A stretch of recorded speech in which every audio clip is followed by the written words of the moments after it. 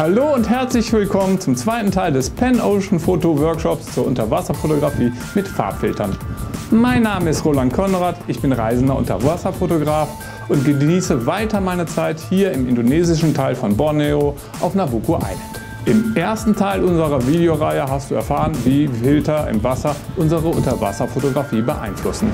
Jetzt aber soll es darum gehen, wie du mit Filtern im Wasser arbeitest.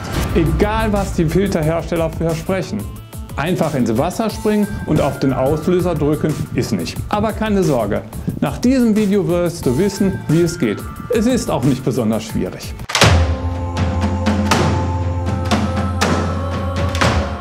Man hört und liest immer wieder, der Mittag sei die beste Zeit zur Filterfotografie. Schließlich ist dann das Tageslicht am härtesten und am hellsten.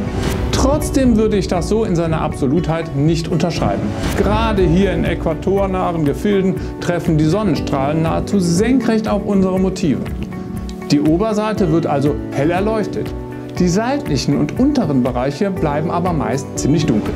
Also muss ich meinen Tauchgang so planen, dass mein Motiv auf den Seiten angestrahlt wird, die ich fotografieren möchte. Auf jeden Fall aber stimmt die Faustregel, je ruhiger die See und so wolkenloser der Himmel, umso mehr Licht ist im Wasser.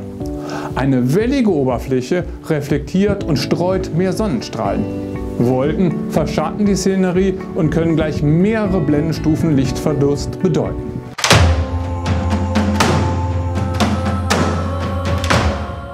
Die Filterfotografie ändert die Art und Weise, wie du deine Motive auswählst.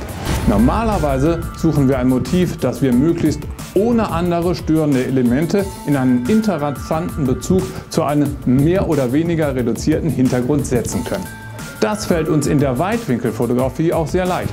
Durch Extension und schnell abnehmende Luminanz stechen meist die von uns ausgeleuchteten Motive sowieso farblich wie auch in ihrer Helligkeit leicht gegen ein nettes Blau oder ein nettes Grün heraus. Anders in der Filterfotografie. Ein Filter kann nicht selektiv arbeiten. Farbigkeit und Helligkeit werden im kompletten Bild verändert. Deshalb eignen sich zum Beispiel Rotfilter gut für große Tiere und Fischschulen im Freiwasser. Diese können wir nie komplett ausleuchten und der Hintergrund ist frei von störenden Elementen. Oder wir entscheiden uns für Wracks oder große Felsformationen, deren Umgebung wir gerne mit in unsere Bildkomposition aufnehmen möchten. Auch hier helfen uns Blitze und Lampen meist nicht weiter. Wenn du also nach Motiven suchst, dann sollten diese entweder in einem sehr aufgeräumten Hintergrund liegen oder aber du musst den gesamten sichtbaren Hintergrund mit in die Bildgestaltung mit einbeziehen. Das kann sehr lohnend sein, ist meist aber auch recht herausfordernd.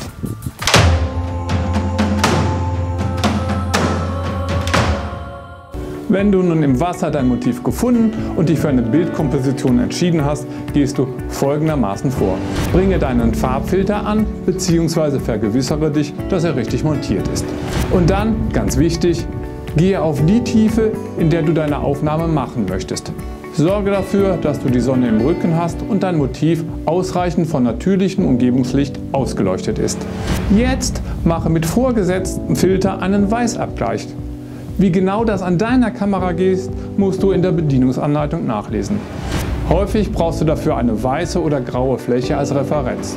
Wenn du keine extra wasserfeste Weißabgleichskarte dabei hast, habe ich auch nie, dann kannst du entweder einen sandigen Meeresboden dafür benutzen oder auch gerne mal die Luftflasche deines Tauchpartners oder aber seine weißen Flossen. Jetzt kannst du deine Aufnahmen machen.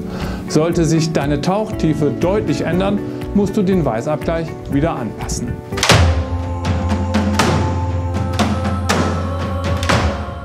In der normalen Unterwasserfotografie freuen wir uns fast immer über künstliche Lichtquellen. Helfen Sie uns doch, die Farb- und Helligkeitsverluste des Wassers auszugleichen. In der Filterfotografie ist das etwas schwieriger. Blitz- oder Lampenlicht ist in der Regel weiß, je nach Farbtemperatur etwas kalt bläulich oder warm gelblich. Der Rot- oder Magenta-Filter färbt dieses Licht genauso wie das Umgebungslicht ein. Ich komme also zu vollkommen unnatürlichen Farbwiedergaben. Aber glücklicherweise gibt es hier Abhilfe. Ich setze einfach Farbfilter vor meinen Blitz oder meine Lampe. Das sind meist ganz einfache Farbfolien, die ich zwischen Blitz und Diffuser anbringe. Damit lässt sich das Licht in der Farbe des Umgebungslichts einfärben. Durch meinen Farbfilter an der Kamera stimmt das Ergebnis wieder.